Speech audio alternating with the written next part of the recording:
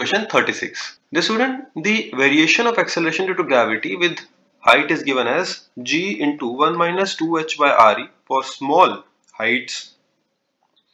It is given that the g dash is 1% less than g which means that g dash will be equal to g into 99 by 100.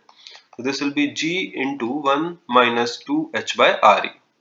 Here g and g will get cancelled and solving h turns out to be equal to re by 200 that is 6400 by 200 which will be 32 kilometers meaning for this question the correct answer is option 2.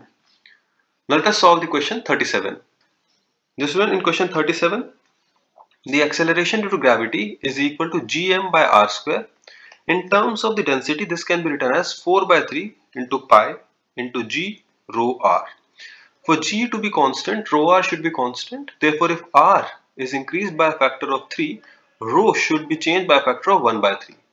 And therefore, for this question, the correct answer is option 4. Now moving on to the question number 38. This one the kinetic energy in this case is given as G small m capital M by 2R. Potential energy is given as minus G m m by R and the net energy mechanical energy is given as minus G small m capital M by 2R. Now the graph is symmetric about x-axis as shown.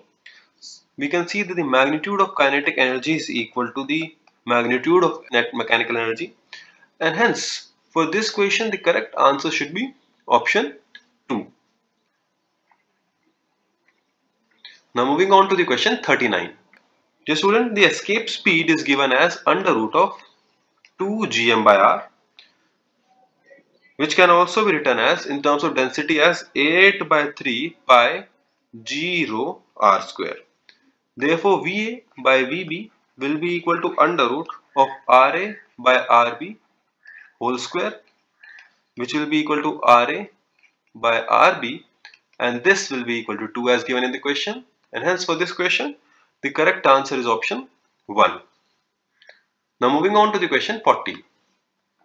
Dear student, the force between two masses in this case is given as g m1 m2 by r square. Here r is a constant. We must remember when the sum of two masses is constant then the product is maximum when they are equal. And hence this means that the force will be maximum when m1 is equal to m2 and that will be equal to capital M by 2 that is 1 kg. And hence for this question the correct answer is option 3.